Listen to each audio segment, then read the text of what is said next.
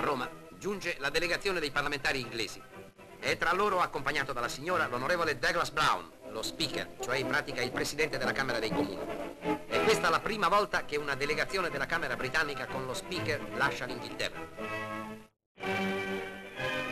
Li riceve a Palazzo Giustiniani il presidente De Gasperi per una colazione, al termine della quale affermerà il nostro vivo desiderio di cordiale amicizia e di consapevole collaborazione.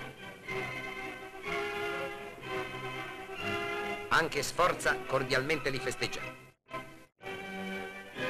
Ore 9.30, dice il programma della visita, giro turistico della città.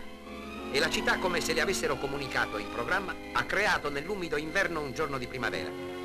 A San Paolo gli ospiti hanno ritrovato il nome della loro cattedrale di Londra nella monumentalità della Basilica Romana. Una luce antica e fusa vibra tra le colonne, si diffonde sulla pace serena del chiostro. Piazza San Pietro.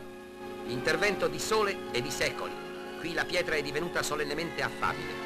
Dice con gloria maestosa e accogliente l'universalità del cattolicesimo.